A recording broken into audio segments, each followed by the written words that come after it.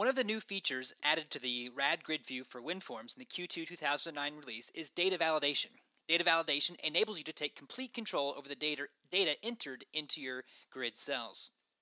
The data validation is controllable through events rather than expressions, and it automatically comes with visual cues that inform your user when data is valid or when data is invalid. Let's take a look at how this works today in Visual Studio 2008. What I have loaded on the screen here is a standard Visual Studio 2008 WinForms project. Today we'll be using C Sharp, the features of course work in VB as well. And I've dragged and dropped onto my form a RadGridView, a Q2 2009 RadGridView, and I've bound it to a very simple data set that pulls data from the employees table in the AdventureWorks database. And if I run this right now, just to give you context of what we're starting with, I'll hit Control F5. And our application, when I'm focused correctly, will load up. And here's what our application looks like. It's just a standard grid view bound to all the data. You can see it's very performant just as is from the employees table in AdventureWorks. And what I'm going to show you today is how we can add data validation using the built-in features to the RadGridView for, let's say, the gender column of this table.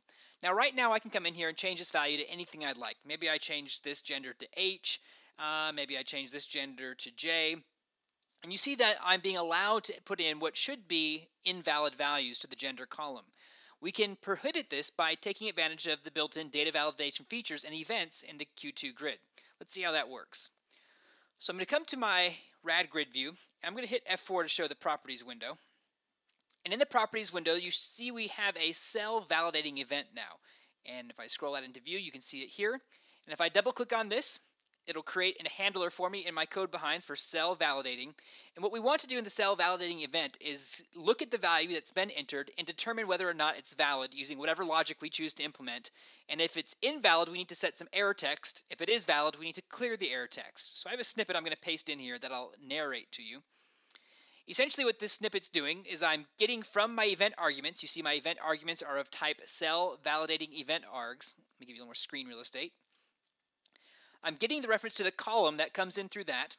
And then from the event arguments as well, I'm validating to make sure, I'm checking to make sure, I don't want to overuse the word validation, I'm checking to make sure that the row is a grid view data row, first of all, grid view data row info type, making sure that the column is not null, and then I can decide, okay, which field do I want to validate? In this case, I'm choosing to validate against the gender field. I could pick any field name here, or I could leave this step out altogether and use a switch statement perhaps to validate a number of different fields. So in this case, I've specified that if the field name equals gender, I want to enter into my validation logic. I then just grab the value that's been entered from the event args again, e.value, and just for saving myself some casting throughout this code, I'm grabbing a reference to the row as well, the grid view data row info. And then I perform some simple data validation. If the value entered is empty, is a string null or empty, then I cancel the entry, which does not allow the user to move on to the next cell or to leave the current row until the validation error has been fixed. So I'll set e.cancel equals true, and I'll set the row's error text, so the grid view data row info error text, to whatever my error message needs to be. In this case, I'm going to say a gender value is required. I'm going to perform another validation step, and I'm going to say that if the value entered is not F or M, then that's also not a valid value in this case. I'm going to set e.cancel equals true again, and I'm going to set the error text in this case to gender must be M or F.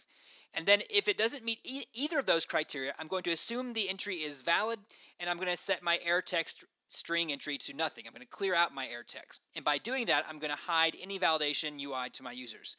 So that's my code in the cell validating event. Now let's run our application again and see what this does to our entry. Hit Control F5. Our application loads again. I'll bring this into view for you. And now when I try to change the value in the gender column, let's perhaps try to change this again from M to H, and then I'll try to click to the next row. Notice that it does not allow me to click to the next row. I can't leave this row. In fact, I can't even tab to the next cell or click on the next cell. And to the far left, we see an automatic UI that's been added indicating that there's an error with this row. And if I hover my mouse over that, we see the text that's been supplied. That text comes directly from the error text we set in the cell validating event and I'm being told that gender must be M or F. And if I cleared this value, I'd be told first that gender is required. So you can see it's evaluated in order and that error text is updated to display what the user needs to do.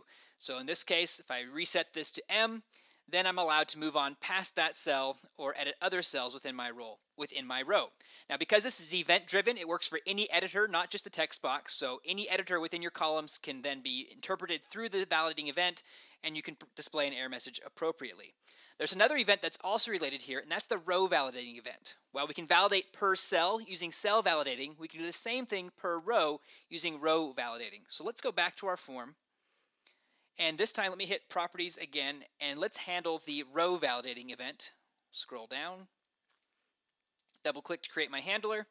And row validating is going to be very similar to cell validating, only instead of getting an individual cell in the event arguments, we're getting an entire row. So what I'm going to do then here instead is get a reference to the row. So I'll say var row equals e dot row, and then we'll go ahead and cast this as a grid view data info row, I believe. Let me validate that. A grid view data row info. Got those last two words backwards. Row info. Now that we have access to our row, we don't need to go to that extra step that we did previously in cell validating to get access to that, but we can bring over most of the rest of our logic. So let's just start by making sure if row does not equal null to make sure that that much is true. Then we can start doing our validation. So let me copy and paste this in here just for very quick demo purposes. Obviously, I don't encourage copying and pasting of code. So let me copy this and paste it in here. Now we obviously we already have the reference to our row. We don't need to do that when we're using row validation. And our value this time, since we're not dealing with a specific cell, we have to decide which column do we want our value to come from. So we can then say row dot cells and then we can either pass in the index to the cell we want to get the value from or pass in its name. So let's pass in its name, gender, and then grab the value. So that's one difference when we're using row validating. And then after that, everything is the same. I don't have to change any of this additional text. So we'll check once again if the value is empty for the cell gender. Uh, we'll check once again if it's F or M. And then if everything passes, we'll clear our error. And if I run this now, Control F5, It'll perform very similarly as we saw in the first demo, only this time that validation logic won't be executed until I try to change rows. So if I come back down here and try to change, again, gender from M, let's say, to H, I can also then tab on and work in other cells. Well, I can if I disable cell validation. So let's go back here and let's disable our cell validation. So I'm just going to comment this out. We'll comment that out, and now we'll run it so only our row validation is being applied to our data modifications.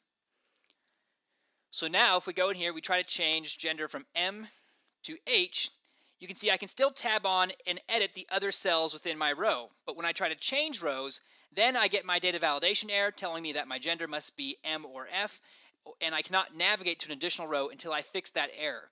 Now, one of the advantages of using cell validation instead of row validation is that if I can't fix the error, if I decide I just don't want to keep my changes, I can simply hit escape to clear the problem when using cell validation. With row validation, I need to go back to the row and set it to a valid value before I can move on.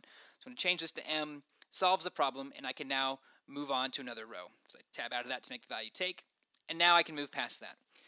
So that's row validation versus cell validation and the data validation feature in the Q2 2009 RadGridView. For a more complete example of this, showing you a more uh, complex way of implementing per column validation using validation column information and applying a visual style to the column when it's not valid, check out the validation demos in the Q2 2009 RadGridView quick start demo framework, and hopefully this quick introduction to this functionality will help you get started with it in Q2 2009.